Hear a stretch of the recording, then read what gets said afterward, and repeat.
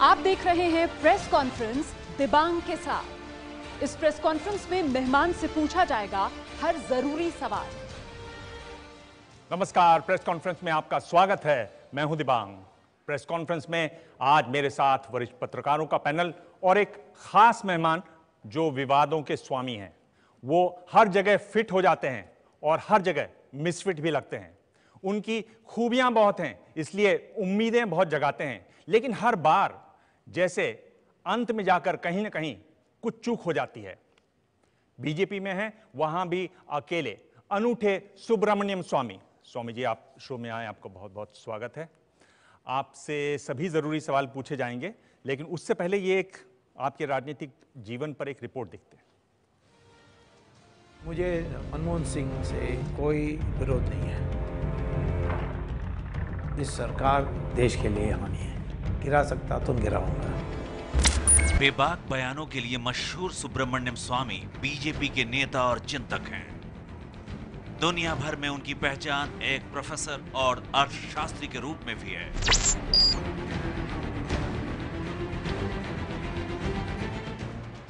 पचहत्तर साल के हो चुके सुब्रमण्यम स्वामी जेपी आंदोलन के जमाने से राजनीति में हैं।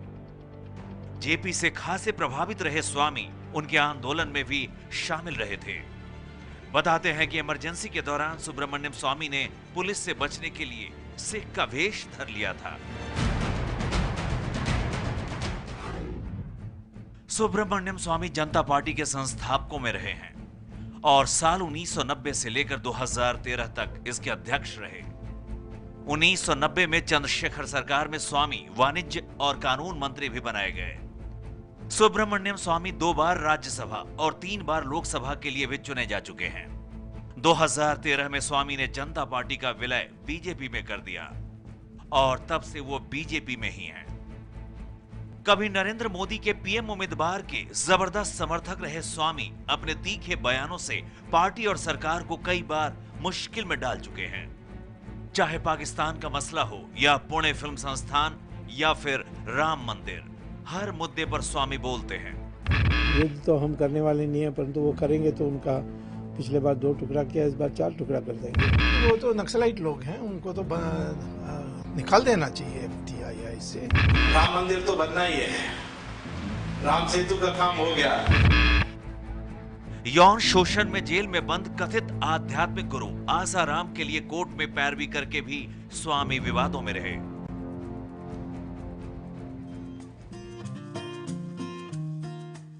सुब्रमण्यम स्वामी का जन्म उन्नीस सौ उनतालीस में चेन्नई के नाइलापोर में हुआ था। सुब्रमण्यम स्वामी के पिता सीताराम सुब्रमण्यम एक ब्यूरोक्रेट थे। स्वामी ने दिल्ली के हिंदू कॉलेज से मैथमेटिक्स में ऑनर्स की डिग्री ली। कोलकाता से स्टैटिस्टिक्स में मास्टर्स किया और हार्वर्ड यूनिवर्सिटी से अर्थशास्त्र में पीएचडी की। उच्च शिक्षा हासिल करने के बाद सुब्रमण्यम स्वामी ने पढ़ाई लिखाई को ही अपना करियर बनाया। कई साल वो हार्वर्ड यूनिवर्सिटी में अर्थशास्त्र के प्रोफेसर रहे। भारत लौटने के बाद आईआईटी दिल्ली में 20 साल से भी ज़्यादा समय तक उन्होंने पढ़ाया। सुब्रमण्यम स्वामी ही वो शख्स हैं जो 2G घोटाले को देश के सामने लाए। काले धन के खिलाफ भी सुब्रमण्यम स्वामी ने लंबी लड़ाई लड़ी है। सोनिया राहुल गांधी और जयललिता पर भ्रष्टाचार के आरोप कोर्ट तक ले जाने वाले शख्स भी सुब्रमण्यम स्वामी ही हैं। स्वामी जी बहुत सारी पुरानी आपकी तस्वीरें देख रहे थे। ये बताइए कि जिस तरह से आप हैं आप ऐसे हैं क्यों? मैं लोग कहते हैं कि वृद्ध होते हैं टेंशन से और आ, जो नर्वसनेस आती है। मैं तो दूसरे लोगों को टेंशन देता हूँ तो मुझे उसलिए कोई प्रभाव मेरा मेरे स्वास्थ्य पर नहीं होता है। मतलब आपकी थ्योरी की हर चीज़ नहीं लेनी कम से कम टेंशन देनी है लेनी नहीं है। हाँ, बिल्कुल। ये यही मेरा काम है। टेंशन देना सबको? टेंशन दे, देना क्योंकि वो दूसरे लोग गलत काम कर रहे हैं तो उनको टेंशन देना। आजकल तो ऐसा है कि जो गलत काम करते हैं वो आपको टेंशन में डाल देते हैं डरा देते हैं। हम डरते नहीं हैं और उनको उल्टा उनको डरा देते हैं। पर इसमें दूसरों के देने के चक्कर में कई बार आप अपनों को भी टेंशन दे देते हैं मुश्किल हाँ उससे। क्योंकि गठजोड़ है उस गठजोड़ में लोग समझते हैं कि वहाँ गए तो यहाँ भी आ जाएँगे। पर आप ये मानते हैं कि आप अपनों को भी टेंशन कभी कभी दे देते हैं? हाँ क्योंकि उनको पता नहीं है कि मैं उनका भी नाम नहीं कभी लूँगा या उनके ऊपर केस नहीं डालूँगा। तो टेंशन तो होगा ही। सिद्धार्थ जी आप पूछिए अपना सवाल। डॉक्टर साहब आप आपका जो राजनीतिक कैरियर देखा जाए तो अंग्रेज़ी में कहते हैं बंडल ऑफ़ कॉन्ट्रडिक्शंस विरोधाभास की पोटली बिल्कुल नज़र आती है। आप आरएसएस विचारधारा करीब समझे जाते हैं लेकिन चंद्रशेखर जी समाजवादी आपके बड़े अच्छे नेता रहे। आप सोनिया गांधी और जया ललिता को बैठा कर चाय पिलाते हैं और आरएसएस बैक गवर्नमेंट गिरा देते हैं। और फिर चाय में पता नहीं कौन सी चीनी आपने मिलाई कि बिल्कुल उनका जीवन आप अगले 10-15 साल के लिए कड़वा कर देते हैं। तो ऐसा क्यों है कि जिससे आप हाथ मिलाते हैं, अगला स्टेप होता है कि उनका आप जड़ खोद देते हैं? देखिए, हर के लिए तो कारण तो है ही, और ये जवाब लंबा हो जाएगा तो मैं संक्षेप में बताता हूँ कि हमने किसी से लड़ाई शुरू नहीं की। कोई मेरे से लड़ाई करें या मेरे साथ धोखा दे तो फिर मैं छोड़ता नहीं हूँ। तो लोग तो वो, जो लंबा मेरा संघर्ष होता है, उसको याद रखते हैं, जो मेरे साथ अन्याय हुआ है या धोखा हुआ है उसको नहीं याद करते हैं। जैसे सोनिया गांधी और ये, जयललिता को हमने चाय पिला करके उनके कहने पर मैंने बीजेपी गवर्नमेंट को गिराया। गिराने के बाद सोनिया गांधी ने भाजपा से समझौता कर ली कॉटरोची के इशू पर हमें खड्डे में छोड़ दी तो फिर हमें उनको सबक सिखाना पड़ा। इस प्रकार से लोग कहते हैं पहले साथ थे अब विरोध हो गए। तो ये तो करना है उसमें हम सिर्फ़ मैं ऐसा नहीं हूँ। आप आप जानते हैं कि सोनिया गांधी ने गुजरात की सरकार को गिराई थी। ये कहकर कि करुणानिधि ने उनके पति की हत्या की, बाद में उनके साथ गठबंधन कर ली। तो उनको कोई पूछता नहीं है, परंतु पता नहीं क्यों मुझे ही छोटी छोटी बातों में सब पूछते रहते हैं। स्वामी जी, ये बताइए कि ये आप कई कई एक तो टोपियाँ पहन लेते हैं। आप जब चाहें तो आप बड़े अच्छे प्रोफेसर बन जाते हैं और हार्वर्ड में जितने भी लोग बता रहे हैं कि बहुत ही आप प्रतिभाशाली प्रोफेसर रहे हार्वर्ड में फिर आप नेता बन जाते हैं। ये अगर मैं आपसे पूछूँ कि ये जो सरकार है मौजूदा सरकार अब तक जिस तरह से मोदी सरकार ने काम किया है उसको आप कैसे आंकते हैं? वो तो मेरी ख्याल में न्याय तभी मैं कर सकता हूँ जब ढाई साल हो जाएगी। अभी एक साल हुआ है। तो आधा न्याय आप क्या करेंगे? नहीं आखिर में मोदी के पर्सनालिटी नहीं होती तो हमें ये जो मोबिलाइजेशन हम कर पाए नहीं कर सकते थे। लेकिन मोदी की पर्सनालिटी अकेला हमें जिताया नहीं। भ्रष्टाचार के विरुद्ध में जो अभियान छेड़ी गई थी वो उससे कांग्रेस का नाम खराब हुआ। वो एक और भी पहलू है। जी। और हिंदुत्व के कारण कई जगहों में लोग जाति से ऊपर उठकर वोट दी जैसे यूपी में किया। तो इन तीनों के लिए जहाँ तक भ्रष्टाचार का विरोध करना है या हिंदुत्व के को आगे बढ़ाना है, उसमें हम पीछे पड़े हैं। हमारी सरकार ज़्यादातर वो गवर्नेंस पर ज़ोर दी है और उसमें जितने लोगों को मिलाकर ले जा सकते हैं, उसके लिए प्रयास किया है। परंतु वो प्रयास मेरी राय में सफल नहीं हुआ है। परंतु उसका आखिरी हिसाब तब लेंगे, जब थोड़ा समय बीत जाए तो इसीलिए मैंने ढाई साल कहा था। चलिए राधिका आप पूछिए अपना सवाल जी। डॉक्टर स्वामी आपका घर वापसी बीजेपी में जब आपकी पार्टी विलय का विलय हो गया बीजेपी में वो काफ़ी उत्सुकता काफ़ी उत्साह से हुआ था। तो जब मोदी की सर और आप मोदी जी के एक ठोस समर्थक भी थे। तो मोदी जी की सरकार जब बनी तो आपको मंत्रिमंडल में शामिल ना करने से आपको खफा हुआ। और अगर आप आज वित्त मंत्री होते हाँ। तो आपकी क्या प्रायोरिटीज़ होती? आप इकोनॉमी को कैसे सीधा करते जो इस अभी जिसकी हालात बहुत अच्छी नहीं है? नहीं मुझे अभी भी नहीं समझ में आती क्यों मैं वित्त मंत्री नहीं बना। मुझे तो चुनाव के अभियान के टाइम पर बता भी गया था। किसने बताया आपको? वो मैं नहीं बताऊँगा क्योंकि फिर वो उनको मुश्किल में डालूँगा। नहीं किसी नेता ने बताया कि जो जिनको जिनको बताने के लिए वो एक अ, उसको कहते हैं एक कद है उन्होंने बताया। अ, फिर हुआ नहीं। बाद में अनेक कारण दी गए। एक कारण ये दिया गया कि अ, सरकार चलाने के लिए स्वामी को बाहर रखना ज़रूरी है क्योंकि विपक्ष की मदद की आवश्यकता है राज्यसभा में। अब वो कारण तो फेल हो गया है क्योंकि अब विपक्ष ने दिखा दिया है कि आ, आप जितना अच्छा उनसे व्यवहार करोगे उतना बुरा वो आपसे के साथ व्यवहार करेंगे। परंतु इसमें मेरा कोई खौफ हुआ या कोई विरोध हुआ या घृणा हुई वो बात सही नहीं है क्योंकि मैदान तो बहुत है। और जो मैं कर रहा हूँ भ्रष्टाचार की लड़ाई में और जो देश भर में हिंदुत्व के लिए प्रचार कर रहा हूँ इससे मेरी पॉपुलैरिटी आज एक डेढ़ साल के पहले की तुलना में तो चार पाँच गुना ज़्यादा होगा। और ये थोड़े मोटे संकेत तो ट्विटर में भी पता लग जाती है, जो मेरी सभाएँ की संख्या, वो पेपर में कम आता है, परंतु जो लोग यू यूट्यूब देखते हैं, वो देख सकते हैं। तो इसीलिए मैं, मुझे तो कोई घृणा नहीं है कि मैं सरकार में नहीं हूँ। पर ये जो पूछ रहे हैं कि अगर आप वित्त मंत्री होते तो आप हाँ कैसे मैं तो दूसरे रास्ते से करता। कोई दो बड़े काम जो आप करते मैं पहला लोगों को उत्साहित करने के लिए इनकम टैक्स को अबॉलिश करता। कोई इनकम टैक्स नहीं होगा? No no income tax complete तो ये तो अच्छा नारा हो सकता है। मुझे वित्त मंत्री बनाओ कोई इनकम टैक्स नहीं होगा किसी पर। नारा नहीं मैं करके दिखा सकता हूँ। पैसा कहाँ से आता फिर? जो दो लाख करोड़ घाटा होगी उस कारण से वो एक स्पेक्ट्रम के नीलाम से मिल सकती है। और हर साल पहले दो दो टू जी का कर सकते हैं दूसरे साल थ्री जी का कर सकते हैं चौथा साल फोर जी का कर सकते हैं। तो इसमें कोई और अब कोयला का भी अब नीलाम होने वाला है उसमें भी बहुत ज़्यादा मिलेगी। तो पैसा की कमी नहीं है।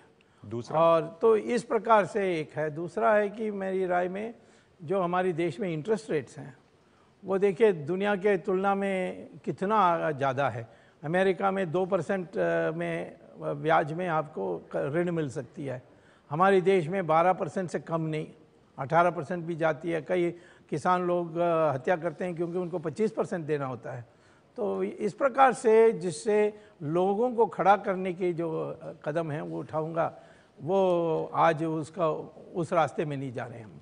ये जो ये जो आपसे सवाल पूछा गया भाई आप पर विश्वास कैसे करें स्वामी जी? आप जिसके साथ रहते हैं उससे लड़ जाते हैं। नानाजी देशमुख जो उस जमाने में आपको लेकर आए जब जनसंघ में कोई आता नहीं था आप इतने अच्छी जगह से वहाँ पर आए आप उनसे भी लड़ लिए? नहीं नहीं मैं ये आप ये आपने वाजपेयी जी के खिलाफ उन दिनों बयान जो दिए। देखिए कई बातों पर आप गलत से बोलते हैं।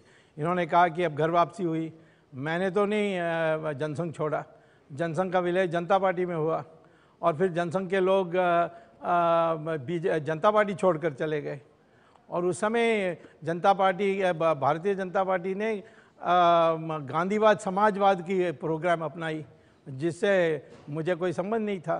जिस दिन हिंदुत्व के रास्ते पर सरसंघ चालक सुदर्शन जी ने कहा कि हम दोबारा चलने वाले हैं, उस दिन हम दोबारा शामिल हो गए। इस सवाल पे मैं आपसे दोबारा इस पर पूछूँगा। राजकिशोर जी मैं आर्थिक नीति पे ही आऊँगा स्वामी जी अब लगभग सवा साल हो चुके हैं तो आपको लगता है कि आर्थिक जो दशा या दिशा जो है, ठीक है, ढाई साल में आप जजमेंट देंगे कि क्या हुआ है, लेकिन आपको लगता है कि दिशा ठीक है। यदि नहीं है तो कहाँ क्या कमी रह गई? और एक सवाल फिर से वही दोहरा रहा हूँ कि आपने अगर होते तो अभी क्या करते? दिशा तो ठीक नहीं है, क्योंकि जेटली तो वकील है, उनको इकोनॉमिक्स को तो कुछ पता ही नहीं है। इकोनॉमिक्स का रास्ता जो जो आईएमएफ वर्ल्ड बैंक के लोग हैं, उनका भी मैं, मुझे भरोसा नहीं है। ये जो हिंदू, हिंदुस्तान के जो कमियाँ हैं, शक्तियाँ हैं, उसको ध्यान में रखकर जो कदम उठानी चाहिए, वो इस प्रकार होंगे आज भी। आज भी मैं कहता हूँ कि इनकम टैक्स को अबॉलिश करो, एक उत्साह आएगी। जिस कारण से लोग उस पैसा को बचत करेंगे, बचत से वो पूंजी होगी, पूंजी से ग्रोथ बढ़ेगी। इसी प्रकार से हमारे देश में जो नदियाँ हैं, उनका एक ग्रिड बनाएँगे तो इतनी एम्प्लॉयमेंट जनरेट होगी। इंफ्रास्ट्रक्चर पर हमने बोला तो बहुत है, योजना तो बनी, बनाई है, परंतु अभी तक कुछ क्रियान्वित नहीं हुआ। इसी प्रकार से हमें प्रोजेक्ट्स करनी चाहिए, दो बातों के लिए। एक, लोगों को, लोगों की बचत बढ़ानी चाहिए दूसरा ब्याज जो है उसको कम करना चाहिए और तीसरा रोज़गार पैदा करना चाहिए। ये तीन चीज़ करनी चाहिए। स्वामी जी मुझे थोड़े आपने शुरू में ही हैरान कर दिया। आपने कहा कि मुझे वजह नहीं मालूम। ऐसा बहुत कम है जै- कि सुब्रमण्यम स्वामी को किसी चीज़ की वजह न मालूम हो। और दो नाम थे देखिए आपका नाम था एक अरुण शोरी का नाम था। दोनों कहीं दिखाई नहीं दे रहे हैं। दोनों वित्त मंत्री दिखाई दे रहा दोनों वित्त मंत्री तो दोनों आपके चैनल में दिखाई दे रहा हूँ देश भर में दिखाई दे रहा हूँ। पर दोनों वित्त मंत्री की दौड़ में दौड़ हाँ, में वो अलग तो ऐसा क्या हुआ कि ये रह गए? मैं दौड़ में नहीं था। दोनों का नाम था? नाम तो आप तो चला आप तो बता रहे हैं आपको बताया भी गया। हाँ बताया भी गया था। परंतु आ, हो गया कारण क्या? मैंने मैं यदि प्रयास करता तो पता लग जाता। मैंने प्रयास नहीं किया। क्यों? क्योंकि मैं प्रारब्धा में विश्वास करता हूँ कि कोई अच्छा कारण होगा जिसके लिए नहीं मैं बना आगे बन जाऊँगा। चलिए आलोक जी। स्वामी जी चूँकि आपका रिश्ता 72 से आरएसएस से भी रहा और कई और ऐसे जो नेता हैं जो हिंदूवादी हैं या स्वदेशी वाले हैं जी। आरएसएस ने कभी इतना क्योंकि आरएसएस तो बड़ा डोमिनेट करता है बीजेपी में। फिर भी कभी और गठबंधन की भी जब ज़रूरत हुई तो आपको वित्त मंत्री छोड़ मतलब प्रधानमंत्री पद के लिए भी गठबंधन में आप ज़्यादा लोगों को साथ ले सकते थे। आपको कभी आरएसएस ने क्यों नहीं प्रोजेक्ट किया? खाली आपको यूज़ करती है और फिर फेंक देती है। ये तो आपका निष्कर्ष है मेरा नहीं है। आ, पहले तो मैं आरएसएस के सदस्य नहीं कभी रहा। लेकिन उनके साथ निकटता के साथ और स्नेह के साथ हमने बहुत सालों से काम की और जैसे नाना जी थे या दत्तोपन ठंगड़ी थे मोरोपिन पिंगले थे माधवराव सिंधिया माधवराव मुगले थे इन सब का हमारे स्नेह होने के कारण ही हम इतने दूर आए कि हम पाँच बार पाँच बार में तो कम से कम दो बार तो उनका प्रवेश करने में इन लोगों की मदद के कारण मैं पार्लियामेंट में आया। लेकिन आ, मेरी आ, लड़ाई ज़रूर सैद्धांतिक रूप से वाजपेयी से हुई थी। और उस कारण से ये फैसला हुआ था 1980 में कि मैं जनता पार्टी में बना रहूँगा और वो बीजेपी चलाएँगे। और 1900 2004 में शंकराचार्य के गिरफ्तारी होने के बाद तय हुआ कि मैं अब विलय के लिए रास्ता बनाऊँ और फिर उसमें थोड़ा समय लगा और बन गया उनके लिए। पर स्वामी जी आपको नहीं लगता? हाँ? कभी उम्मीद करें कि आप प्रधानमंत्री बने? मैंने कहा ना मैं प्रारब्धा में है तो कोई रोक नहीं सकता। मैं तो पाँच बार पार्लियामेंट गया हूँ, दो बार मिनिस्टर रहा हूँ। लोग मुझे पहले दिन जब मैं आया तो कहते थे, आप जैसे ब्लंट आदमी तो पॉलिटिक्स में कभी टिक नहीं सकते। लेकिन फिर भी हम ये सब पाए और वो भी किसी के एहसान से नहीं, किसी के रहनुमा से नहीं। स्वामी जी आपको लगता है कि अगर आप बीजेपी में और ख़ासतौर पर जब आप आए, अगर आप बने रहते तो वाजपेयी जी अडवाणी जी, उसके बाद तो आप ही थे। अगर आप बने रहते उस समय ऐसी कहीं ना कहीं कहीं ना कहीं थोड़ा आप अनुशासन में रहते थोड़ा धैर्य रखते तो ये काम हो सकता है आप सबसे वरिष्ठ नेता होते ये जो अब जो नेता दिखाई दे रहे हैं उस जमाने में तो कोई उनमें से था भी नहीं। नहीं देखिए ये तो एक अनुमान लगाने की सवाल है। उस समय मैं आ, जो सिद्धांत अपनाया गया था उससे हम बड़े दुखी थे।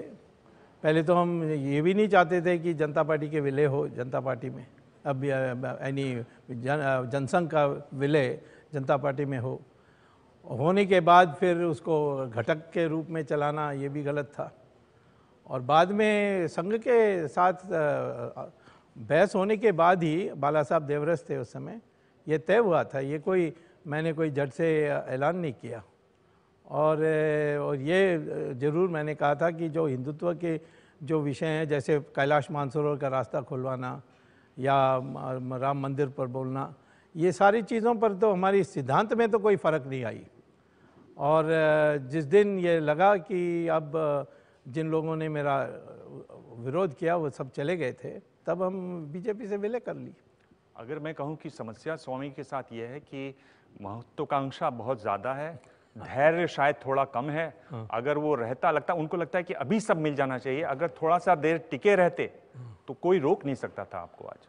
ये ये भाव आपको कर, आप कभी बैठ के ये सोचते ये, हैं ये, ये तो एक आ, कल्पना की बात है कि क्या परिस्थिति हो जाती है। मैं जानता हूँ कई अच्छे लोग वहाँ टिक नहीं पाए रहकर।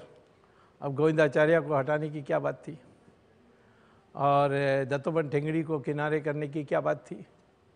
तो ये मुझे अंदर रहते हुए उनके साथ रहते हुए आ, मुझे पता है और मेरे जैसे व्यक्ति जो सैद्धांतिक तौर पर इन्हीं एक स्पष्टवादी है तो उसके लिए तो जब लिपापोती होने लगती है और सेकुलर बनने के लिए एक पागलपन शुरू हो जाती है तो फिर हमें तो फिट करना मुश्किल हो जाती है। तो मैं तो कोई कम नहीं कमाया हूँ। मैं तो सीनियर मोस्ट मिनिस्टर था उस समय मैं चाहता था तो चंद्रशेखर की जगह मैं खुद बनता, क्योंकि राजीव गांधी तो मुझे चाहते थे। परंतु मैं समझता था कि चंद्रशेखर बनना ठीक होगा, और मेरे लिए अभी ये समय नहीं है। तो सारा गठबंधन तो मैंने बनाया। तो नरसिम्हा राव के साथ भी रहे। तो ये कहना कि कभी से जोड़ता हूँ जड़ चले जाता हूँ, मैं मुराजी से था, कभी नहीं गए। चंद्रशेखर से झगड़ा हुई, पर साथ रहे। और नरसिम्हा राव से दोस्ती पूरी अंत तक थी। अब एक दो लोगों के साथ हमारी झगड़ा होगी तो उसके मूलभूत कारण है। जी। सोनिया गांधी से क्यों झगड़ा हुई है वो तो मैं इस पर हम इस पर हम हाँ, आएँगे आगे। उसमें है उस कारण है। पर चुनाव से पहले आपने एक बड़ी बात की बड़ा हल्ला हुआ कि सब काला धन वापस लाया जाएगा। जी जी। अब सरकार बता रही है पार्टी बता रही है कि भाई वो तो एक जुमला था। क्या। ये क्या ये ब, कभी आएगा काला धन या ये काला धन लाने के लिए चार रास्ते हैं। इसमें से कोई एक रास्ता भी अपनी सरकार ने अभी तक अपनाया नहीं। मैंने प्रधानमंत्री को चिट्ठी लिखकर भी कहता है कि यही चार रास्ते हैं। एक रास्ता है जो म्यूचुअल असिस्टेंस पैक्ट से जो, वो तो एक एक फुटकर में ही ला सकते हैं। दूसरा है कि जो जर्मनी और फ्रांस ने किया, वो, उन्होंने बैंकों के जो मुख्य अधिकारी थे, उनको रिश्वत दे करके उन्होंने सारा डेटा निकालवाए थी।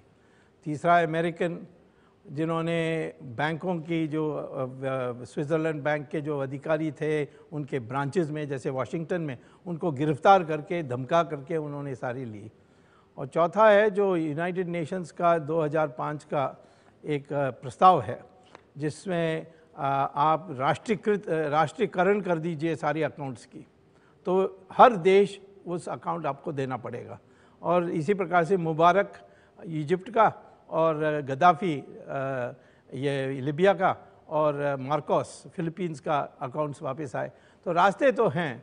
अभी तक उसमें से कोई रास्ता नहीं अपनाया गया। जो रास्ते बताए जा रहे हैं उसमें कोई दम नहीं है। तो पार्टी ने ये आसान रास्ता क्यों चुना? कह दिया कि ये जुमला है। वो तो प्रेस कॉन्फ्रेंस में कहा है ना। वो तो पार्टी में नहीं कहा ना। हमारे एबीपी न्यूज़ के एक इंटरव्यू में हाँ देखिए आपके इंटरव्यू आप ही ने उनको चढ़ाया होगा और आ, इनको जाए ये पार्टी में तो नहीं कहा ना। अभी पार्टी का नेशनल एग्जीक्यूटिव होगा तो सवाल ज़रूर आएगा कि काला धन कब वापस आएगा राम मंदिर कब बनेगा ये सारी चीज़ें बात आएगी। चलिए आपने पिछले दिनों एक बात कही वो एक बार सुन लेते हैं।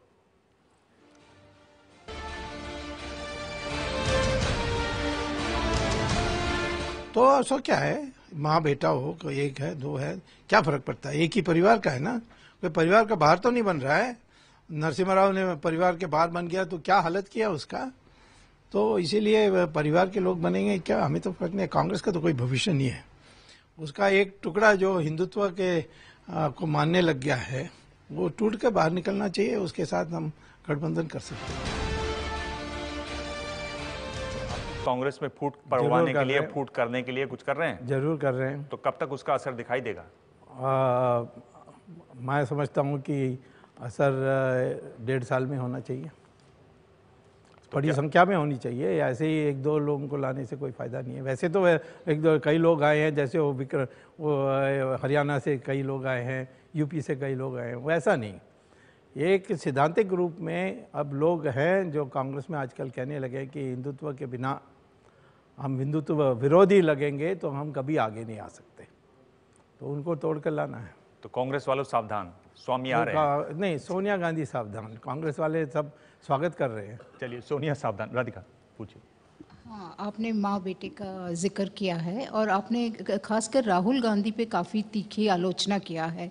आपके ट्विटर में आप हाँ, कई सारे बातों बा, बातें हाँ हाँ एग्जैक्टली exactly. लेकिन राहुल की जो मेक इमेज मेकओवर जो हुआ अब, अब पिछले छः सात महीनों से दिखाई दे रहा है आक्रामक रवैया पार्लियामेंट में पार्लियामेंट के बाहर और एक एक कंसिस्टेंट अप्रोच जो रहा है उससे आप अपनी राय में कुछ पर, परिवर्तन ला रहे हैं क्या राहुल जी राहुल के बारे में नहीं इसको वो उसकी जो इमेज गिरी पिछले चुनाव में और उसके थोड़े पहले उसको वो कभी रिकवर नहीं कर सकते हैं क्योंकि उनका मूल क्या है कोई ज्ञान नहीं है कोई पढ़ा पढ़ाई नहीं है कोई सिद्धांत नहीं है।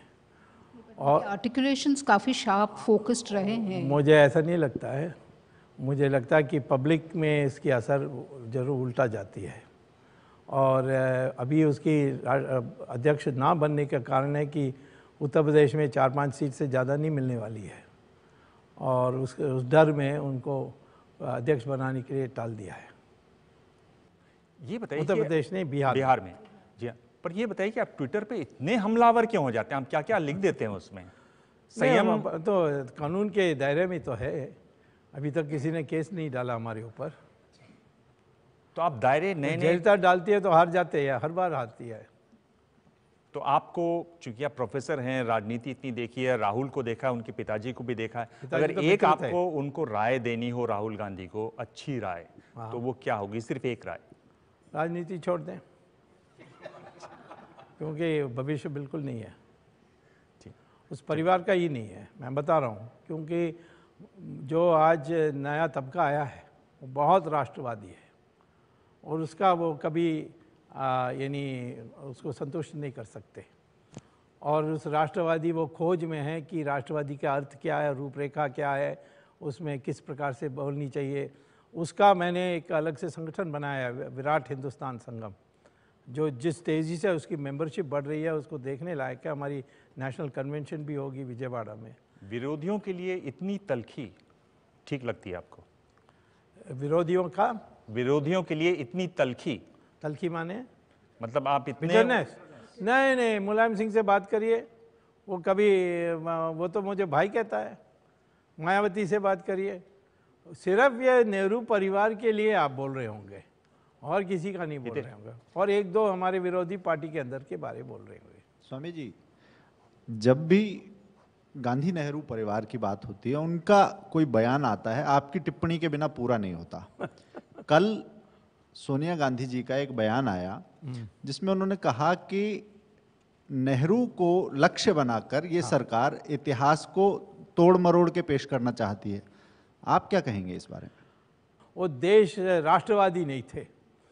और उन्होंने देश की जो सारे हितों को उसको उन्होंने व्यक्तिगत अपनी इमेज बनाने के लिए उन्होंने त्याग कर दिया जो उन्होंने कश्मीर का किया।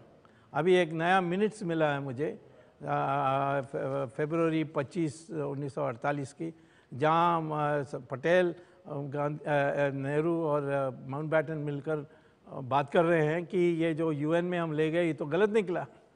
तो उसमें जवाहरलाल नेहरू अपनी ज़िम्मेदारी स्वीकार करने के लिए तैयार है, नहीं है। कहता कि जिन लोगों ने इसको यूएन ले गए, उनको सज़ा मिलनी चाहिए। तो ये तो उन्होंने खुद उनकी जिद पर गई थी। और दूसरा है चाइना। चाइना से दोस्ती करना बुरा नहीं है, लेकिन अपनी तैयारी बंद कर दें कि ये कल्पना पर कि उनके साथ हमारी भाई भाई की रिश्ता है, वो देशद्रोही का काम हुआ एक प्रकार से।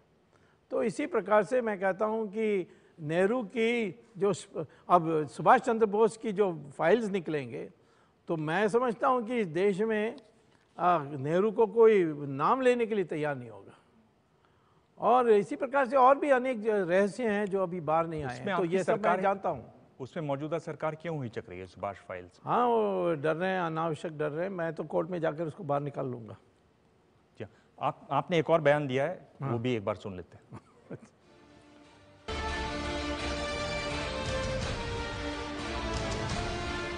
ये मामला इतना ही बहुत साधारण सीधा मामला था कि सोनिया गांधी और बेटा और उनके कांग्रेस के साथियों ने और पिट्रोडा और सुमन दुबे जैसे लोगों ने कंपनी बनाई। Young India. Young Indian. और उसमें 76 परसेंट शेयर्स सोनिया गांधी और बेटे के थी माने कंपनी उनका था। और उन्होंने नेशनल हेराल्ड को हड़प किया। और नेशनल हेराल्ड के पास दो हज़ार करोड़ रुपए की संपत्ति है ज़मीन है कई शहरों में बिल्डिंग्स हैं। यहाँ भी बहादुर शाह जफ़र मांगे। ये सारे सस्ते दाम पर सरकार ने न्यूज़पेपर प्रिंट करने के लिए दी। इन्होंने इसको कन्वर्ट करके किराए में दे दी और खूब मौज कर रहे हैं। तो ये फ्रॉड होने के कारण मैंने cheating breach communal breach of trust 420 ये सारी धाराएँ लगाई। इसमें आपने फिर बहुत बयान दिए और फिर हुआ कुछ नहीं। लगा नहीं, जैसे आपका जो नहीं, नहीं। आपका जो होमवर्क है वो कहीं कमज़ोर रहा। नहीं नहीं ये तो आरोप आपका है। पर वो तो वो तो आप आप जेल भिजवाने वाले थे। मैं बात जवाब दे रहा हूँ। मैंने ये मैजिस्ट्रेट के सामने पेश की थी। ग्यारह महीने मैजिस्ट्रेट ने पूछताछ की, बयान ली, सब करके समन्स जारी की। माने प्राइमा फेसी केस बन गया है और आप आरोपी हैं प्राइमा फेसी। अब ट्रायल को फेस करना है। हमारे इस जो कानून है उसके अनुसार, उस विधि अनुसार ये हाई कोर्ट में जाकर कहा कि ये जो समन्स है इसको खारिज कर दे। वो अभी एक साल से चल रही है, अभी अंत में आ गई है। उसमें भी मैं जीत जाऊँगा और दोबारा वो वापस मैजिस्ट्रेट के पास जाएगा। फिर ट्रायल होगा तो इनको गिरफ्तारी होगी और फिर बेल लेना पड़ेगा। बेल देंगे तो नहीं मैं नहीं जानता। अ, और ये कार्रवाई तो ये इसमें तो पक्का कोई बचने का नहीं है। अब मैं क्या- एक और ले रहा हूँ। क्या इसमें जो अधिकारी जो बदले गए वो भी इसी मामले से जुड़े हुए थे? क्या इसमें वो भी खेल नहीं? देखिए इसमें कंफ्यूजन इस बात पर होती है। मैंने एक तो क्रिमिनल केस किया है आईपीसी के अंतर्गत। उसमें समन्स जारी हो गई। अब ट्रायल की बाकी है, जो अब हाई कोर्ट के कारण रुका हुआ है। दूसरा है, मैंने इन्फोर्समेंट डायरेक्टरेट में कहा कि ये जो पाँच लाख रुपए बना के ये कंपनी बनाते हैं यंग इंडियन उसको पाँच हज़ार करोड़ रुपए की संपत्ति की एसोसिएटेड जर्नल्स लिमिटेड को कैसा इनका ये स्वामित्व मिला? इसमें मनी लॉन्ड्रिंग हुआ है। उसके लिए मैंने इन्फोर्समेंट डायरेक्टर को दिया। उसमें इन्फोर्समेंट डायरेक्टरेट में जो आज हेवी इंडस्ट्री की सेक्रेटरी है, उसको एडिशनल चार्ज फाइनेंस मिनिस्ट्री ने दी थी इन्फोर्समेंट डायरेक्टरेट वो पक्का कांग्रेस का अपॉइंटमेंट ये था पहले, उसको जारी रखा इन्होंने। और उसने सडनली कह दिया कि मनी लॉन्ड्रिंग का कोई केस नहीं है, और बंद कर दो। अब इसमें पूरा केस है। तो मैंने प्रधानमंत्री को लिखा है कि ये फुल टाइम डायरेक्टर होना चाहिए, ये पार्ट टाइम डायरेक्टर ऐसा बोलता है। दूसरा है कि वो दिग्विजय का रिश्तेदार है। और उसके साथ उसकी बातचीत होती है। कांग्रेस के अपॉइंटमेंट है। अपने लोगों को जो पछताते आए हैं अभी तक उनके लिए भी एक मौका मिलना चाहिए। तो मुझे मैं स्वागत करता हूँ प्रधानमंत्री ने उस चिट्ठी पर तुरंत। जिसको चौथा एक्सटेंशन दो दिन पहले दिया था हाँ। उसको रद्द कर दिया। वो तो अच्छा किया और उसका परिणाम अब आप देखेंगे। उर्मिलेश स्वामी जी आपके प्रशंसक और आपके निंदक दोनों मानते हैं कि आप पढ़े लिखे आदमी हैं। लेकिन संघ परिवार से आपकी जो दोस्ती या आपका लगाव एक हिंदू राष्ट्रवादी के रूप में आपको अपने को स्थापित करने का कोशिश ये सब बड़ी लंबी कहानी है। लेकिन वजह क्या है कि जो हिंदू राष्ट्रवादी पार्टी है और संगठन है उसने आपको भरोसे के लायक नहीं समझा कभी उसने आपको मंत्री नहीं बनाया कभी अपने किसी पद पर ऐसे पद पर नहीं रखा जहाँ ज़िम्मेदारी का कोई बड़ा काम हो। आपको अगर मंत्री पद भी मिला तो कांग्रेस बैक्ड एक सरकार में, वो भी कुछ महीने के लिए। तो ये जो आपके लाइफ की एक पॉलिटिकल ट्रेजिडी है, इसको कैसे आप देखते हैं? ये तो ट्रेजेडी नहीं मानता हूँ। कई लोग हैं जो कभी एम एम भी नहीं हैं, वो तो हमसे भी मान बने, जैसे जयप्रकाश थे या महात्मा गांधी थे। इस देश में तो साधु संत, त्यागी लोगों का बड़ा कदर होता है। ये दूसरे देशों जैसा नहीं है। दूसरा है कि मुझे रखा गया, नहीं रखा गया, बाहर रखा गया ये तो मुझे क्यों सवाल देना? मेरे में कोई कमी नहीं है। दुनिया भर में मानते हैं कि हम योग्य व्यक्ति हैं। जिन्होंने बाहर रखा उनसे पूछना चाहिए क्यों क्यों बाहर आंदोलन भी तो नहीं कर सके। जयप्र- आपने जयप्रकाश का नाम लिया लोहिया का तमाम लोगों का। आप कोई आंदोलनकारी भी नहीं रहे। आंदोलन- मैं- मैं- आपने आपने डिफरेंट पॉलिटिकल पार्टीज़ और नेताओं कभी जयललिता के बीच कभी सोनिया जी के बीच कभी अटल जी के बीच कभी किसी के बीच आपने बीच बचाव किया या दोस्ती तोड़वाई सरकारें गिरवाई या सरकारें बनवाई?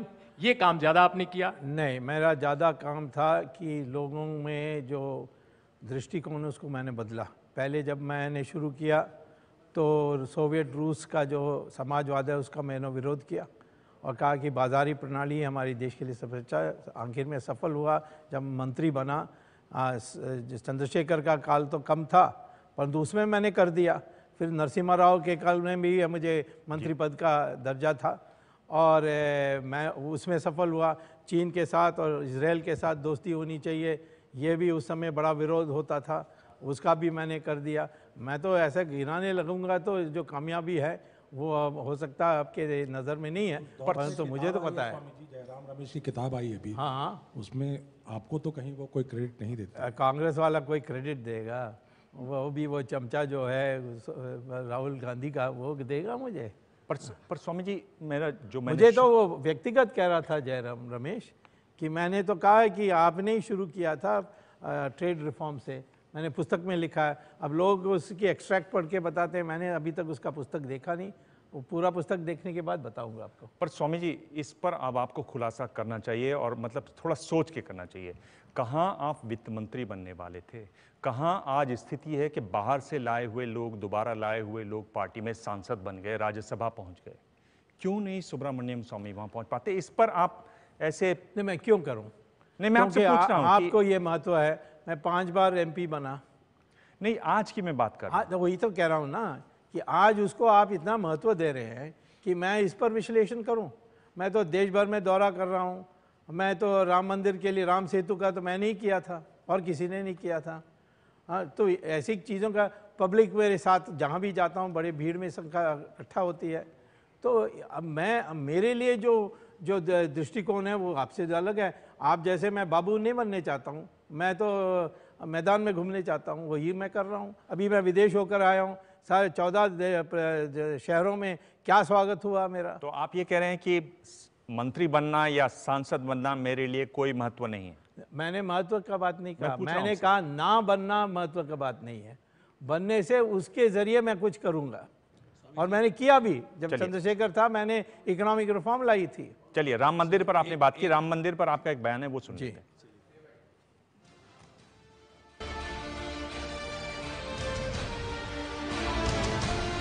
अब तक नहीं बन पाया। दस साल में तो नहीं बनना वहाँ तो इटालियन बैठी थी वो। उसके पहले आ, जो सरकार थी एनडीए की वो सोचती थी हमारे मेजॉरिटी नहीं है। और अब बनने की अधिक से अधिक संभावना है 19 तक आ, मेरी राय में मंदिर बन जाना चाहिए। तो ये डेडलाइन है धमकी है वादा है इरादा है? तो मैंने आगे कर दिया अब तो मैं कहता हूँ सोलह में बन जाना चाहिए। और इसके लिए हम आंदोलन करने के लिए तैयार हैं। और इससे क्या ये जो आप इस तरह से बातें करते हैं स्वामी जी क्या इसमें पार्टी में आपने बात की प्रधानमंत्री से बात की और लोगों ये तो? मैनिफेस्टो में है। इसमें पार्टी में बात करने की क्या ज़रूरत है? प्रधानमंत्री से बात करने की क्या ज़रूरत है? मैनिफेस्टो में लिखा है कि लीगली हम राम मंदिर बना सकते हैं तो बनाएँगे। तो इसको तो हमें ये तो हमारी ड्यूटी हो गई कर्तव्य हो गई। नहीं इतना इतना भरोसा आपको आपको है? क्या? 2016 आपने तारीख भी तय कर दी। निश्चित तौर पर। मैंने तो यही भी कहा राम सेतु का भी कहा था कि मैं दो दो साल में उसको सुरक्षित कर दूँगा सुरक्षित हो गया। विजय। मेरा आपसे दो छोटे छोटे सवाल हैं। एक आप बड़ी क्रांतिकारी सुझाव दे रहे हैं कि अगर आप वित्त मंत्री होते तो देश की आर्थिक नीतियों को सुधारने के लिए इतना सब कर देते। अ, काला धन कैसे आ सकता है? उसके लिए चार एक बड़े सुझाव दे रहे हैं। और दूसरी तरफ़ आप ही की पार्टी के यशवंत सिन्हा जैसे लोग कह रहे हैं कि पार्टी में तो लगता है कि जो पचहत्तर पार हो गया वो ब्रेन डेड हो गया। नहीं वो तो उनकी राय है यदि ये कोई पार्टी का पॉलिसी नहीं है ना किसी ने मुझसे कहा है।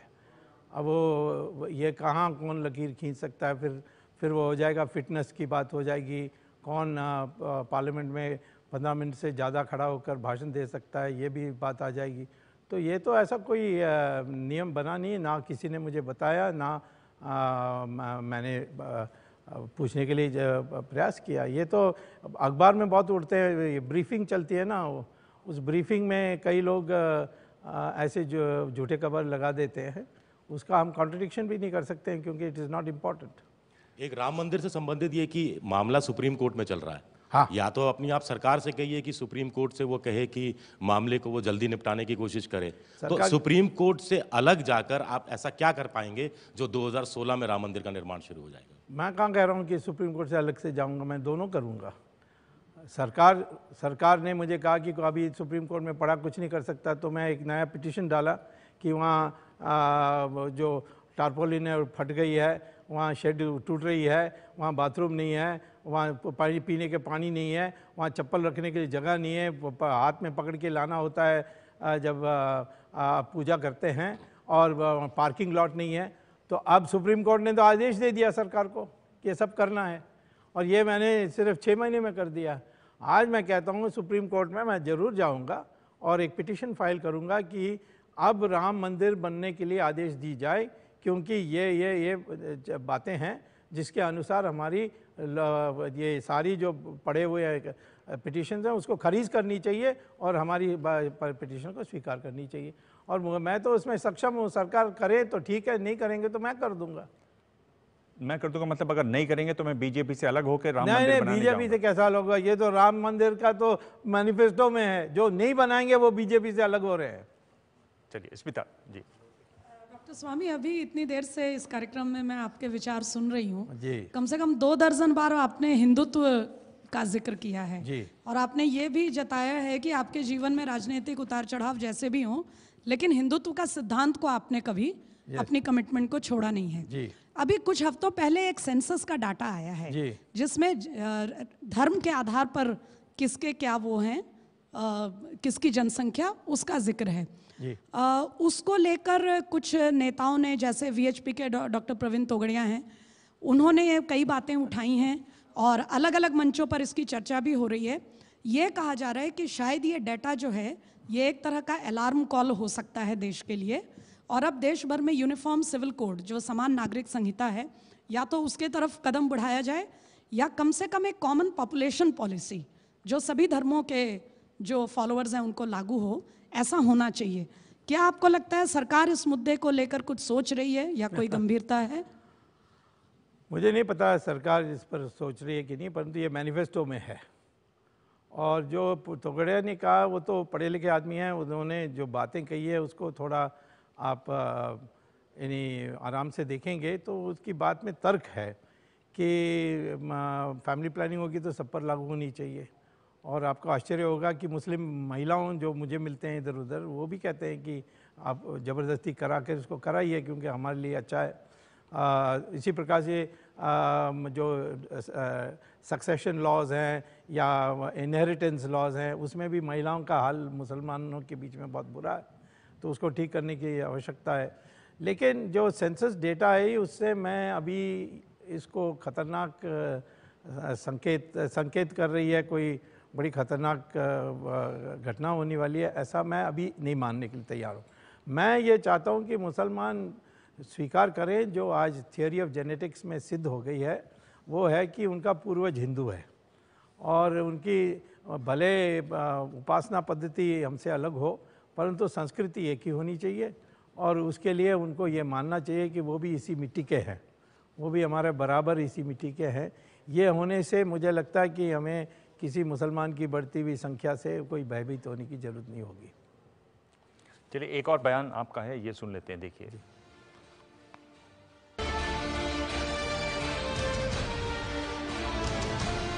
राम मंदिर तो बनना ही है। राम सेतु का काम हो गया। थोड़ा ही बाकी है, वो नितिन गडकरी को पकड़ के पूछिए कब देगा मैं नितिन गडकरी को धन्यवाद देता हूँ। पहला कदम उन्होंने उठाया।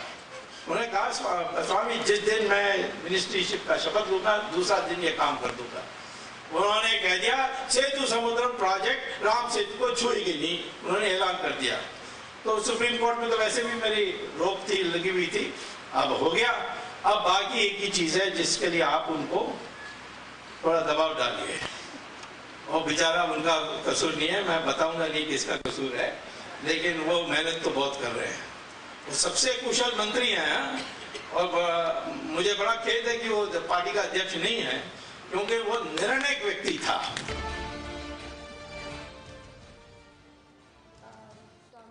आपने अभी अपने बयान में खुद कह दिया। उसका आधार क्या आप कह रहे हैं कि गडकरी अमित शाह से बेहतर ये नहीं कहा मैंने। अ, मैंने कहा वो दिया- व्यक्ति है। हाँ। अमित शाह तो ज़्यादा चुनाव पार्टी संगठन इस पर उनका प्राथमिकता है। और नितिन गडकरी पार्टी ऑफ़िस में बैठ के लोगों से मिलते थे जो नितिन अमित शाह नहीं करते। बहुत कम मिलते हैं। हमारी चिट्ठी की भी जवाब नहीं देते। तो नितिन तुरंत फ़ोन करके बात करते थे। अ, तो इसमें स्टाइल में फ़र्क है। एक बुरा दो दूसरा अ, अच्छा ऐसा मैं नहीं कह रहा हूँ। परंतु नितिन गडकरी से हमारे बहुत पुराने परिचय है तो इसीलिए मैंने उसके लिए वही उसकी क्षेत्र में मैं भाषण दे रहा था। तो इसीलिए उसका थोड़ा अच्छा करना ज़रूरी था। स्वामी एक सवाल मेरा और है कि आप अभी जो भी बात की आपने आप कभी लगता है कि आप भाजपा में एक्स्ट्रा कॉन्स्टिट्यूशनल पावर है? आप जो कहते हैं वो वो पार्टी की लाइन बन जाए ऐसा करीब करीब हो जाता है। जैसे आपने चाइना की नीति पे हाँ। भाजपा सरकार की बताया कि वो बड़ी दकियानुसी है बड़ी पुरानी है उसको बदल देना चाहिए। हाँ। अब हमारे प्रधानमंत्री करीब 80 देशों में जा चुके हैं। जी। तो पाकिस्तान को लेकर आपने नीति पर टिप्पणी की थी तो आपको लगता है कि विदेश नीति जो अभी प्रधानमंत्री चला रहे हैं, उसमें कुछ तब्दीली आनी चाहिए? मुझे लगता है कि ये दस साल यूपीए के होने के कारण आप लोकतंत्रीय दल क्या होता है, ये आप, आपके समझ से बाहर हो गई है। क्योंकि लोकतंत्र पार्टी में लोगों को आइडियाज़ यानी अपने विचारों को बताने के लिए आवश्यकता है और दूसरे देशों में आप जाएँगे तो देखेंगे कि वो खुलेआम होता है। और जब निर्णय होती है, उससे इधर उधर हो जाए तो आप, फिर कह सकते हैं ये ठीक नहीं है। अभी तो जो तो जो भी बात मैं कह रहा हूँ, उसकी मूल बात मैनिफेस्टो में है और लंबे तौर पर पार्टी की सिद्धांत रही है। चाइना के साथ मित्रता करनी चाहिए, परंतु उसी समय अपनी डिफेंस पर कभी ढील नहीं देनी चाहिए। ये तो हमारी, आप पुराने ऑर्गेनाइजर पढ़ेंगे तो मेरा आर्टिकल तो 1900 1972 से है। और पहला जो चाइना के साथ सुधार के कदम उठी, वो तो मैंने किया था जब मोरारजी देसाई प्राइम मिनिस्टर थे। और उस कारण से मैं कैलाश मानसरोवर का रास्ता भी खुलवा सका। अभी तो दूसरा रास्ता खुला ये भी उसी समय तय हुआ था। तो इसीलिए मैं कहता हूँ कि मैं कभी पार्टी के बाहर नहीं जाता हूँ। और ये ज़रूर पार्टी की बात को मैं स्पष्टता से रखता हूँ जो दूसरे लोग लगते हैं तो लगता है कि मैं अलग से जा रहा हूँ। पर ये जो आप भी आपने कहा कि जो वर्तमान अध्यक्ष हैं वो आपकी चिट्ठी का जवाब नहीं देते मिलते हाँ। नहीं हैं तो उनका स्टाइल ऐसा है। स्टाइल वो वो वो पार्टी में ऑफ़िस में बैठ के मिलते नहीं हैं। वो तो मैं जानता हूँ चिट्ठी का जवाब नहीं देते हैं वो भी जानता हूँ। वो कोई नई बात नहीं है। परंतु संगठन बनानी या चुनाव लड़नी उसमें व्यवस्था में उसका कोई मुकाबला ही नहीं है। तो इसीलिए उनका स्टाइल दूसरा है। पर नितिन गडकरी का दूसरा है। क्या अध्यक्ष को ऐसा नहीं होना चाहिए कि कम से कम महत्वपूर्ण लोगों को ये न लगे कि मेरी चिट्ठी का जवाब नहीं दिया? हो सकता है उसने विकेंद्रीकरण किया कि महामंत्रियों को मिलना चाहिए मैं महामंत्री से मिलता नहीं हूँ। इतना ही फ़र्क और चिट्ठी का तो जवाब दे सकते हैं आपकी। चिट्ठी का मैं अंग्रेज़ी में लिखता हूँ हो सकता है मैं हिंदी में लिखूँगा तो जवाब दे देंगे। तो क्यों नहीं आप हिंदी में लिखते? अब हमारे पास टाइपराइटर नहीं है हिंदी का। मैं कर सकता हूँ आगे करूँगा। वैसे गूगल से तो आजकल बहुत आसान हो गया हाँ हिंदी में। बिल्कुल सही बात। एक एक जो नए चीज़ में आप दिखाई दे रहे हैं वो आप एक लॉयर की भूमिका में दिखाई दे जाते हैं बिल्कुल। और आप बार बार जाके डिफेंड कर रहे हैं इस पर काफ़ी आलोचना भी होती है। क्यों कर रहे हैं आप ऐसा? कौन आलोचना कर रहा है? सब तो मेरे जे जे ये जो आप ये जो आप आसाराम के पास चले जाते आसाराम का तो मैंने बेल के लिए गया- मैं गया हूँ। आसाराम को जेल में डालने के कारण है कि उन्होंने धर्म परिवर्तन पर उन्होंने डट के विरोध किया। कई लोगों का दोबारा उन्होंने घर वापसी के पर स्वामी जी आप मान रहे आप मान रहे हैं कि उसमें जो कई गवाह हैं वो मारे जा रहे हैं। एक के बाद एक मारे जा रहे हैं। लोग एक ही तरीके से मारे जा रहे हैं। और मतलब बहुत ही ऐसा केस है जिस पर इतना ज़्यादा लोगों की निगाह है। फिर आप क्यों जाते हैं ऐसी जगह? ये स्वामी क्यों नहीं लोगों को समझ में मैं तो अपना मन टेलीविज़न देख के बनाता नहीं हूँ। बिल्कुल नहीं। मैं रिकॉर्ड्स को देखता हूँ। अब ये रेप केस कहते हैं जोधपुर में। मैंने एफआईआर देखा, वहाँ पुलिस ने साफ़ लिखा है कि इज़ नो रेप और दिल्ली पुलिस ने तो लोकनायक जयप्रकाश नारायण हॉस्पिटल में रिपोर्ट लिया है कि एक स्क्रैच भी नहीं है। तो अब क्या बाकी केस क्या है उसमें? कि ये अठारह साल से कम लड़की है और उसने बयान दिया कि इन्होंने मेरे ऊपर हाथ लगाई। और पॉस्को जो नया कानून बनी है, उसके अनुसार जो 18 साल से कम लड़की है, उसके बयान को सही मान करके केस चलाना होता है। उसमें जो विटनेसेस थे, सुप्रीम कोर्ट ने मुझे कहा कि छः विटनेसेस हैं, ये मटेरियल विटनेसेस हैं, इनका पूरा पूछताछ होने के बाद आप बेल के लिए अप्लाई कर सकते हैं। ये छयों का छः ज़िंदा है, पूरा उनके बयान हो गई है। तो कौन कहाँ मर रहा है, किस बिज़नेस लिस्ट में है ये तो टेलीविज़न में मुझे दिखाई पड़ता है। जब मैं कागज़ में देखता हूँ उनका नाम नहीं दिखता। तो आपको लग रहा है कि कुछ नहीं होता। आप पूरे नहीं मुझे पूरे आप बिल्कुल वकील की तरह से इसके पीछे कोई पैसा खर्च करके प्रचार कर रहे हैं। पर जितना पैसा उनके पास है वो शायद ही और किसी के पास होगा। वो अक्लमंद से पैसा खर्च नहीं कर रहे हैं ये इतना अर्थ है। आप लोग जो देखते होंगे वो ऐसे लोग हैं जो अक्लमंद से कर रहे हैं। स्वामी जी दो छोटे छोटे सवाल। सबसे पहले तो आपने कहा कि आपको क्लियर संकेत दिया गया था चुनाव के पहले कि आप मंत्री बनेंगे। हाँ। इससे एक चीज़ साबित होता है कि बनना जो- चाहिए जो- मुझे जो- लगता है मुझे जो- जो मुझे मेरे में कौन सी कमी है मैं नहीं बनना चाहिए। आप ज़ोर से नहीं बोलते हैं इसलिए इसलिए नहीं बन पा रहे हैं। मंत्रिमंडल जो है वो प्रधानमंत्री का प्रेरोगेटिव होता जी, है जी, कि शामिल हो। इसीलिए मैं तो क्या कर इससे लगता है कि जो बीजेपी है उसको एक कोई रिमोट कंट्रोल चलाता है और आपका इसलिए नहीं चला क्योंकि प्रधानमंत्री उस रिमोट कंट्रोल को वीटो कर गए? पहला सवाल ये था। दूसरा सवाल ये कि पहले सवाल का जवाब ले लेते हैं। ओके। देखिए नरेंद्र मोदी को कोई रिमोट कंट्रोल नहीं कर सकता। उनको गलतफहमी हो सकती है या दोस्ती में भटक सकते हैं। और वो वो दोस्तों का दोस्त है और कभी वो राजनीति में ठीक नहीं है। बट उसको कोई हुक्म नहीं दे सकता। आप क्या कह रहे हैं कि वो दोस्तों के दोस्त हैं? वो दोस्तों का दोस्त है। मेरा तो उनसे परिचय बहुत पुराना है परंतु ऐसा कोई मैं नहीं कह आप सकता। क्या कह रहे हैं कि दोस्तों का दोस्त होना राजनीति में ठीक नहीं है? कभी ठीक नहीं है कभी ठीक है कभी नहीं ठीक है। कभी दोस्तों के साथ अन्याय होगा तो उसके लिए खड़ा होना चाहिए। कि मैं खड़ा होऊँगा तो मेरा राजनीतिक करियर बिगड़ जाएगा उसमें भाग जाना वो कांग्रेस में बहुत होता है। बट यहाँ तो दूसरा है। उसमें मैं विवरण नहीं दे, देने वाला हूँ। जितना भी आप प्रयास करेंगे मैं विवरण नहीं दूँगा। लेकिन मैं इतना कहूँगा कि नरेंद्र मोदी की पर्सनालिटी ऐसी है कि उसको कोई डिक्टेट नहीं कर सकता। दूसरा है कि आप लोगों का इतना गलत फहमी है आरएसएस के बारे कि आरएसएस हुक्म देता है। मैं जानता हूँ आरएसएस बोलता है अपनी बात वो सुने तो ठीक है नहीं सुने ये सब अपने लोग हैं सारे प्रचारक रहने वाले लोग हैं। तो आदेश देने के लिए नौबत तब आएगी जब कोई ऐसा घृणापूर्ण घटना हो जाए। जैसे अडवाणी ने कह दिया कि ये जिन्ना सेक्युलर है तो उसमें सारा स्वयंसेवक भड़क उठे। तो इसीलिए जाकर मोहन भागवत को उनको पद से उतारना पड़ा। दूसरा लेकिन ऐसे तो बहुत रेयर होता है। आरएसएस ज़रूर कहती है कि ऐसा होना चाहिए ऐसा होना चाहिए पर ना हो तो मैंने कभी नहीं देखा। आरएसएस ने कहा कि हम आ, कुछ कदम उठाएँगे। मेरा दूसरा सवाल आपके जी। दूसरे टारगेट के है के प्रति है जो जो जिसको आपने बहुत टारगेट किया है। जी। तमिलनाडु के चीफ मिनिस्टर। जयललिता के बारे में उसके बारे में बिल्कुल बात नहीं हुई। पिछले साल जब उनको कन्विक्ट किया गया था तब एक तरह से माना जा रहा था कि तमिलनाडु की राजनीति जो एक चर्निंग के प्रोसेस में एक नई राजनीति उभर के आएगी लेकिन साल भर के अंतर पूरा पासा पलट गया। भारतीय जनता पार्टी को माना जा रहा था कि एक अच्छी एंट्री पॉइंट मिल रही है तमिलनाडु लेकिन लगता है कि क्या आपकी पार्टी बिल्कुल बैक टू स्क्वायर वन हो गई और जयललिता ज़्यादा मज़बूत होकर मुख्यमंत्री के तौर पर लौट के आई है?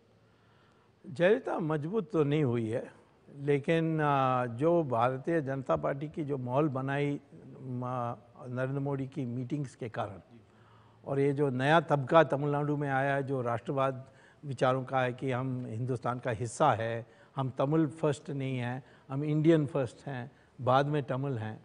वो जो एक द्रविड़ा आंदोलन से अलग हो गए हैं उस उस माहौल में हम आगे बढ़ सकते थे।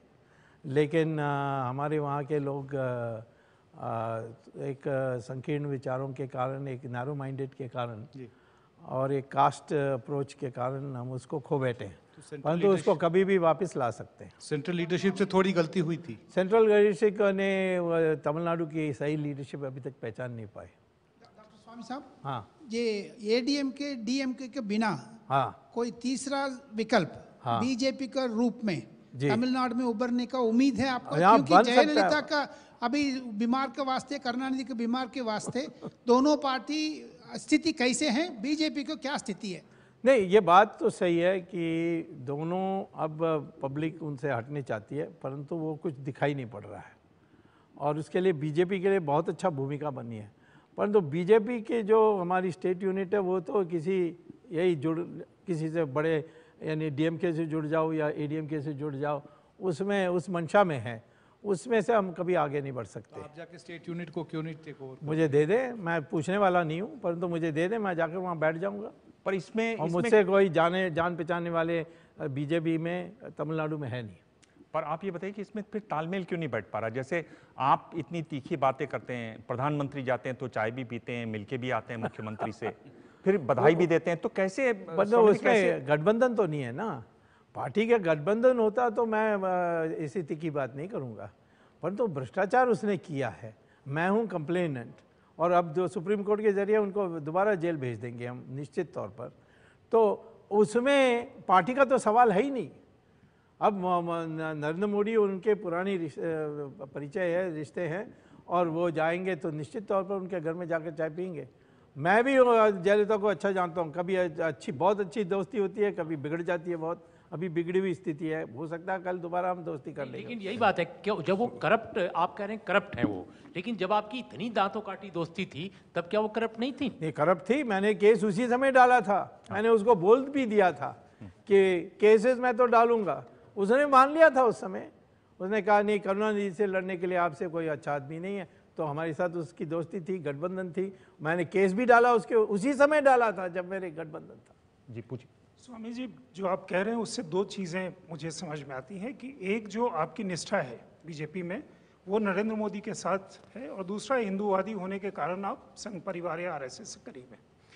लेकिन जो आप पहले टेंशन देने की बात कर रहे थे उसी से ये जुड़ा हुआ है। हाँ। अभी जो बात हो रही तमिलनाडु की हाँ।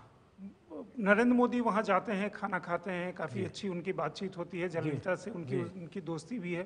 जी। आप उनको जेल भेजना चाहते हैं तो ये टेंशन आप किसको दे रहे हैं? जयललिता को या प्रधानमंत्री नरेंद्र मोदी नहीं नरेंद्र मोदी के ऊपर कोई असर नहीं होगा इसका।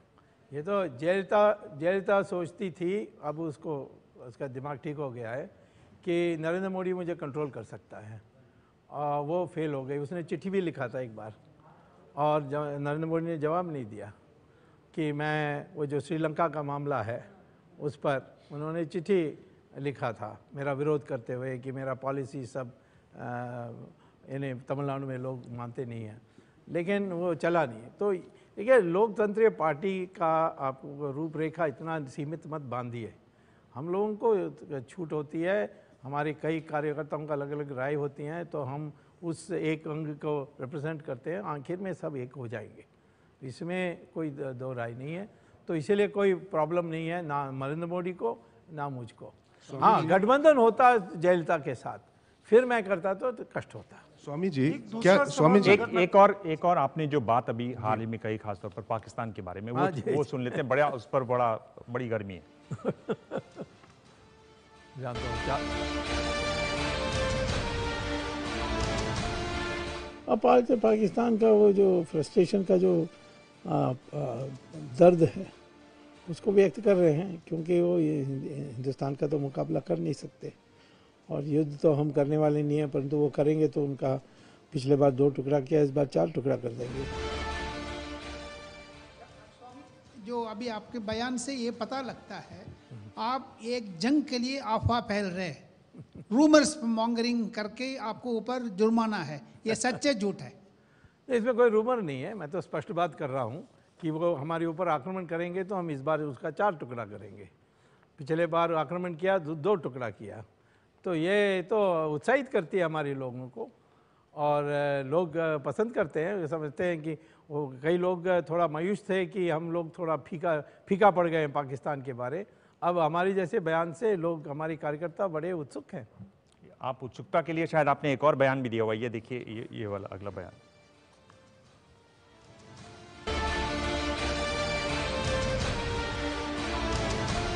ये जो कानून बनी थी क्रिमिनल डेफिमेशन का ये तो 1860 में बनी थी।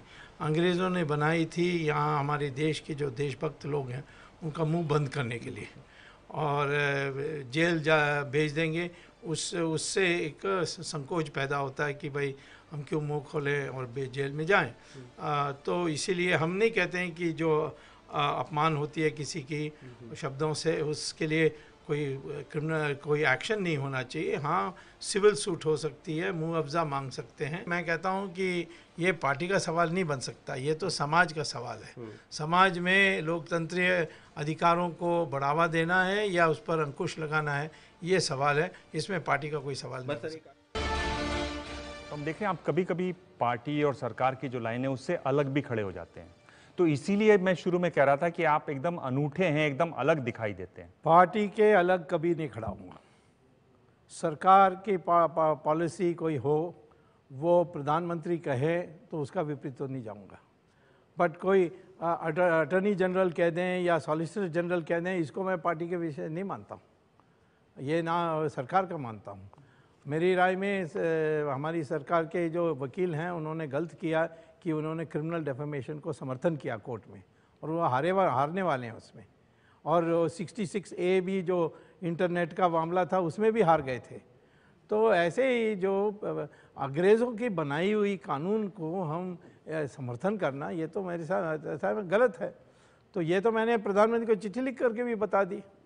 और कि ऐसा हो रहा है इसको आप उस पर रोक लगाइए। तो मैं ये समझता हूँ कि आप लोगों की भी दृष्टिकोण थोड़ा विशाल होना चाहिए कि हर चीज़ पर मैं जो पार्टी कहती है उस पर पहले पार्टी का फैसला हो। पार्टी फैसला ही नहीं करती है किसी बात पर तो मुझे तो छूट होता है बोलने के लिए और पार्टी का मन बनाने के लिए। स्वामी जी। स्वामी जी जो आपको जानते हैं आपने देख वो तब से इमरजेंसी में खासतौर पर जिस तरह से आपने काम किया और जिस तरह से एक उभा- उछाल भी आया आपके पूरे पिछले दिनों अडवाणी जी ने कहा कि हालत ऐसी बन रही कि इमरजेंसी दोबारा लग सकती है। क्या आप इससे सहमत हैं? क्या इस तरह की बात, क्या ये बात सही है? मुझे नहीं लगता पता है कि किस संदर्भ में अडवाणी जी ने ये बात की थी या आप लोगों ने उसको तोड़ मरोड़ के पेश किया है। सवाल यह है कि देश में लोकतंत्र ऐसे लोकतंत्र ऐसा चीज़ है जिसका सदा के लिए हम लोगों की रक्षा करनी होती है। और निश्चित तौर पर आज जो पार्टियों की हालत है अनेक जगहों में, उन मुलायम सिंह की पार्टी हो, मायावती की हो या कांग्रेस की हो, उसमें तो कोई लोकतंत्र नहीं है। बीजेपी में क्योंकि अनेक संगठन हैं, एक तो बीजेपी खुद है, फिर आरएसएस है विश्व परिषद है, ये सारे होने के कारण इनका जो माहौल बनता है वो सबसे ज़्यादा लोकतंत्र बनता है, और मैं उसका सबूत हूँ। कि मैं बात कहता हूँ जो दूसरे पार्टी में मैं कभी नहीं कह सकता। और ये बड़ापन है हमारी पार्टी की दे कि ये सब एडजस्ट करते हैं। हाँ मैंने भी ये स्पष्ट कर दिया कि पार्टी कोई प्रस्ताव पास करेगी तो मैं उसको उस पर उसके अनुसार चलूँगा। परंतु तो जब तक नहीं है तो मुझे अधिकार है मन बनाने के लिए। ये एक आखिरी बयान है आप बहुत बयान देते हैं इसलिए हमारे इस शो में बहुत सारे बयान हैं। ये एक आखिरी बयान है ये भी एक बार सुन लीजिए।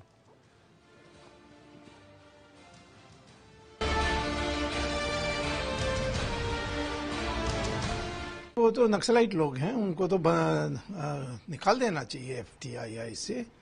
और हम लोग थोड़ा इतना ढील देना अनावश्यक है। सरकार कोई भी ट्राई करें परंतु ये एजिटेशन ये रोकेंगे नहीं क्योंकि उनको पता है कि ये आए थे F T I as a base बना करके। तो मैं तो समझता हूँ सबको निकाल देना चाहिए और और एफ़ टी आई आई को बंद कर देना चाहिए यदि काम नहीं चल सकता। आपको किसी को कुछ कहना होता है आप सीधा बोलते हैं तो नक्सली है।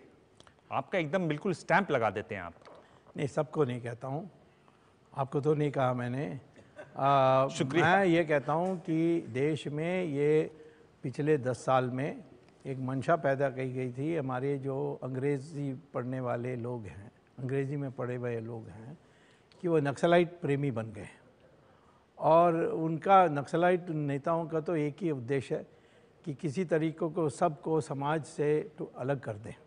तो ये एफ़ की जो एजिटेशन है, वो क्या है कि चेयरमैन उनके वोट के बिना नहीं बन सकता। आई एम सॉरी वो नहीं हो सकता कि विद्यार्थी तय करें चेयरमैन कौन होगा।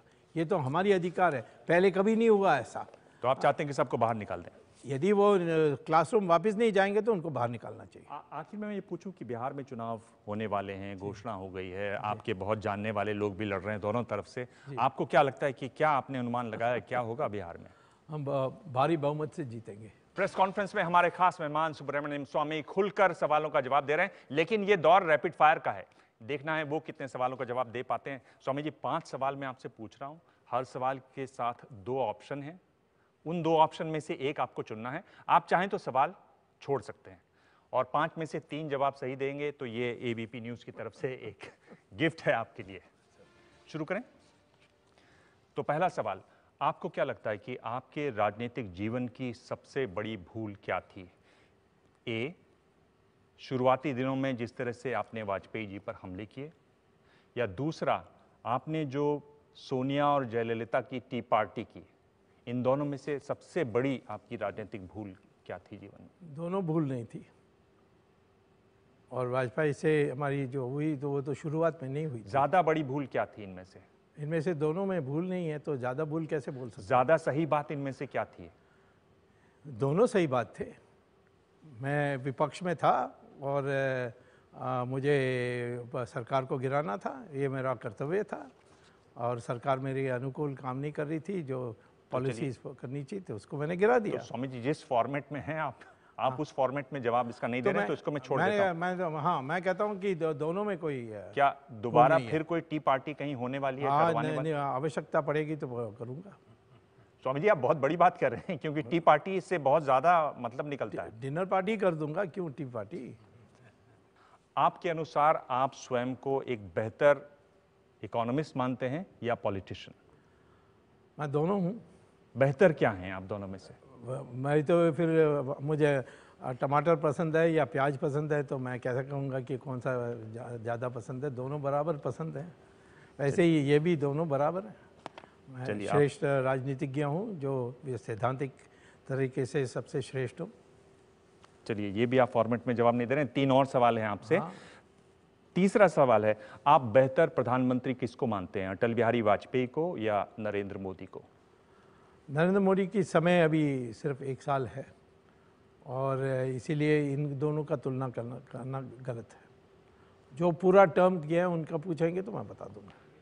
तो आप सीधे नहीं आ रहे हैं। नहीं क्यों नहीं मैं क्या मैं आपके ट्रैप में तो आने वाला नहीं हूँ। अगर वाजपेयी जी के पहले पंद्रह सोलह महीने देखें मोदी जी के पहले सोलह महीने देखें तो उस हिसाब से आपको कौन बेहतर लग रहे हैं? मैं तो नरेंद्र मोदी को ज़्यादा अच्छा जानता हूँ तो इसीलिए मैं नरेंद्र मोदी को ज़्यादा अच्छा समझूँगा। चलिए ये आपने एक तो जवाब दिया। आपको क्या लगता है कि बीजेपी के बेहतर अध्यक्ष कौन रहे? नितिन गडकरी या अमित शाह?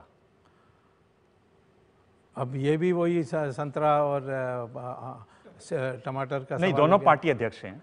नहीं पार्टी अध्यक्ष हैं परंतु अलग अलग आयाम में वो सक्षम है। तो मैं इसको इनको कंपेयर नहीं कर सकता। ये सवाल मैं जवाब नहीं दे सकता।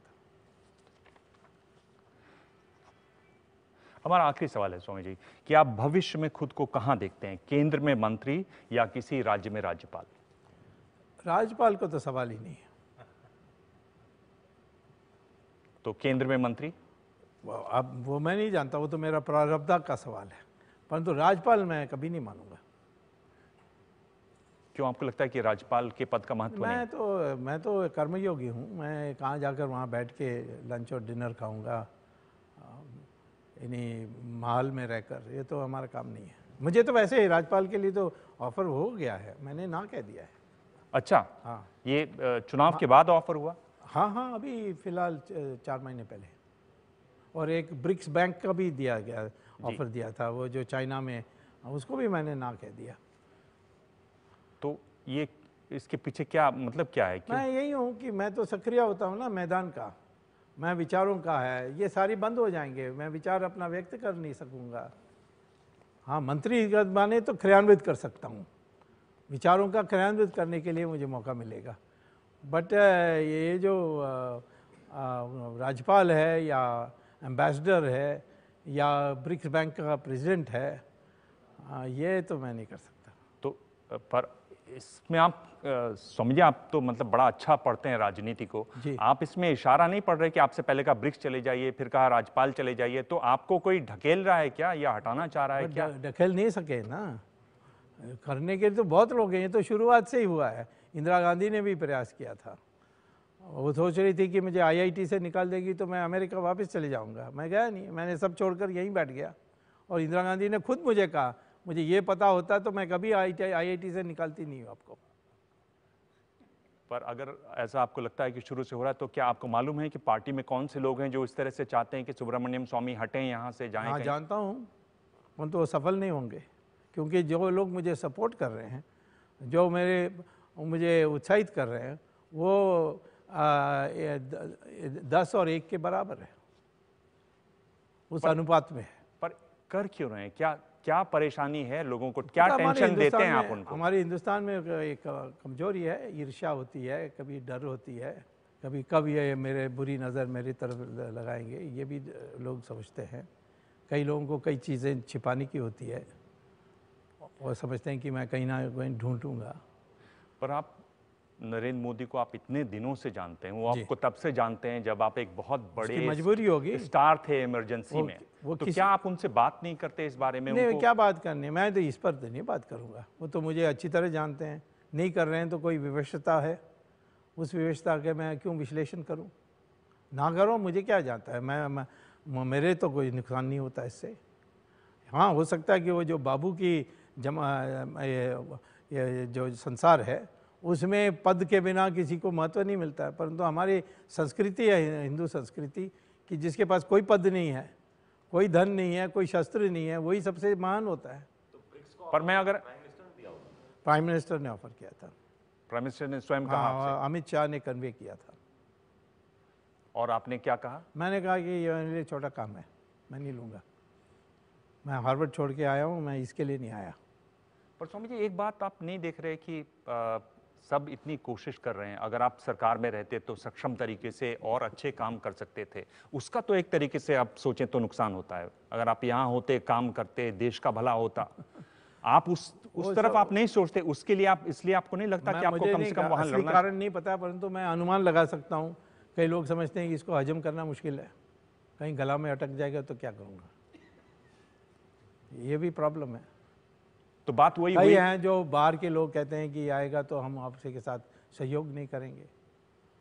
ऐसे भी अनेक कारण हो सकते हैं परंतु मुझे तो नहीं बुरा लगा। मैंने कभी कंप्लेन नहीं किया। मैंने कोई ऐसा काम नहीं किया जिससे आप कह सकते हैं घृणा में मैं कर रहा हूँ। मैं तो नरेंद्र मोदी को आज भी सपोर्ट कर रहा हूँ सब जगह। अभी अमेरिका गया था सब लोग बड़े नाराज़ थे उससे क्योंकि काला धन नहीं आया ये नहीं आया वो नहीं आया। मैंने उनको डिफेंड किया। तो आपको अभी भी उम्मीद है कि नहीं उम्मीद का सवाल नहीं है मैं उसको जानता हूँ मुझे मेरे लिए प्रिय है इसीलिए मैं कोई यानी सौदा के लिए मैं नहीं कर रहा हूँ। चलिए सुब्रमण्यम स्वामी आपने सभी सवालों के तो जवाब नहीं दिए लेकिन आप हमारे साथ आए और बहुत बेबाकी से आपने बात की।